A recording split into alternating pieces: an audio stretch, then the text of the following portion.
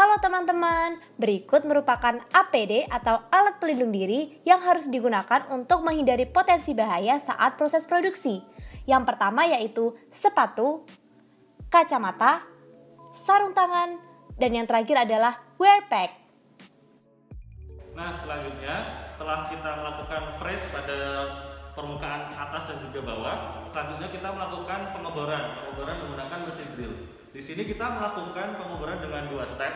Nah, step pertama dengan mata pahat atau mata bor dengan diameter 0,5 cm atau 5 mili dan juga step kedua dengan mata bor sebesar e, diameternya 1 cm atau 10 mili.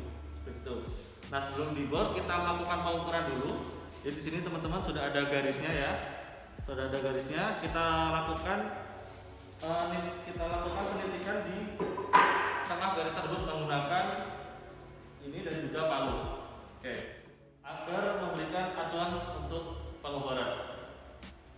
Jadi harus pas tengah-tengah. Oke. Setelah itu step selanjutnya kita akan melakukan pengobaran menggunakan mata bor dengan diameter 5 mm. Oke.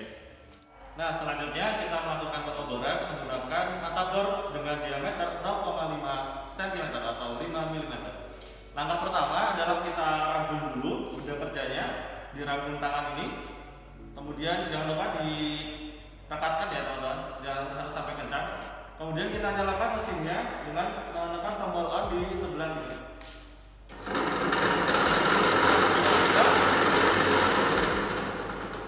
Jika sudah, nanti tinggal kita putar eh, searah berlawan dengan arah jarum jam dan kita paskan dengan golongan yang sudah kita titik tadi. Langsung saja kita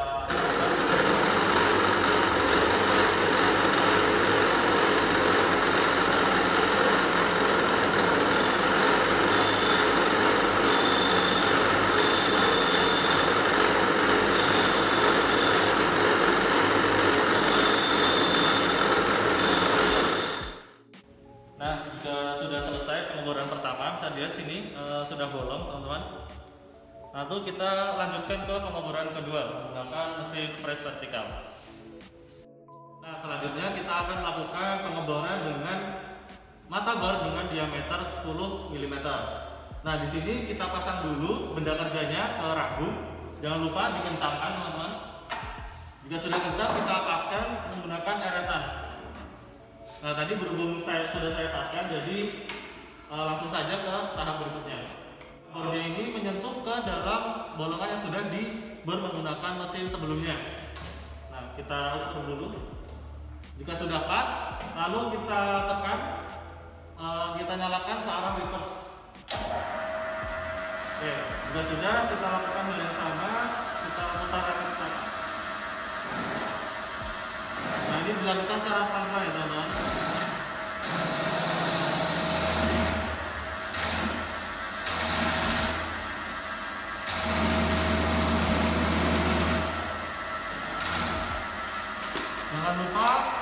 Jika ingin melancarkan kita menggunakan cooler.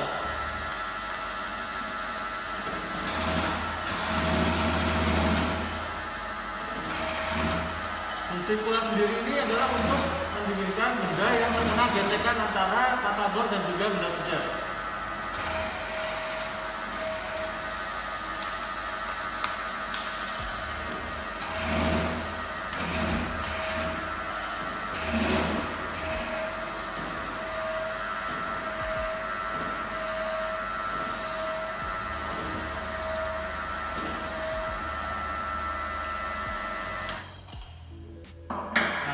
Hasilnya seperti ini teman-teman. Uh, bisa dilihat sendiri.